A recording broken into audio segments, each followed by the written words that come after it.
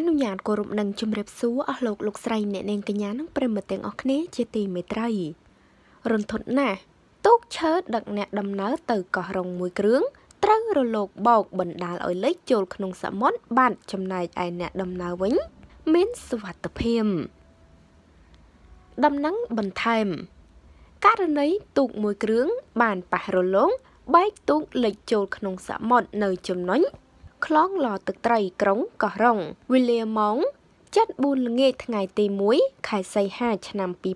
2020ក្រមបញ្ជាផ្ទាល់ពីលោកឧត្តមស្នេហ៍តូជួននរិន ស្នងការនគរបាលខេត្តព្រះសីហនុក្រោយទូកនោះលេងមនុស្សនៅលើទូកត្រូវបានជួយសង្គ្រោះបានទាំងអស់ហើយមិនមានអ្នករងគ្រោះណា ដែលបានបាត់បង់ជីវិតនោះទេ សេចក្តីរាយការណ៍ពីសមត្ថកិច្ចថាមានមនុស្សនៅលើទូកនេះប្រមាណជាជាង10នាក់មានក្មេងនិងចាស់ដែលបានទៅចូលរួមកម្មវិធីជប់លៀងខួបកំណើតមួយនៅកោះរ៉ុង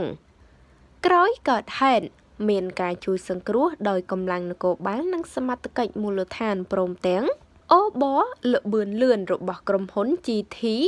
VC របស់លោកអុកញ៉ាទីវិចិត្រនិងទូកនេសាទស្ម័គ្រចិត្តមួយចំនួនទៀតបញ្ជាក់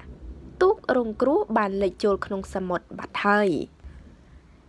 ចាសំណាងល្អមែនទែនដែលមិនមានប៉ះពាល់ដល់អាយុជីវិតបងប្អូនណាម្នាក់បើសិនជាយើងជាអ្នកជិះនៅលើទូកនោះហើយជួបហេតុការណ៍បែបនេះមិនដឹងថាភ័យលួសប្រលឹងបែបណានោះទេបងប្អូន ដោយអ្នកដំណើរជិះទូកនោះ គឺដើម្បីទៅកម្មវិធីជប់លៀងមួយនៅឯកោះរ៉ុង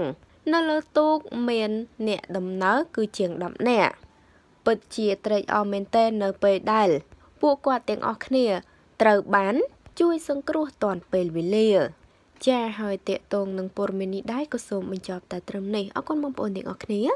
សូមចុច Subscribe និងរូបកណ្ដឹងដើម្បីទទួលបានព័ត៌មានថ្មីៗជាបន្តទៀតសូមអរគុណសូមគោរពលា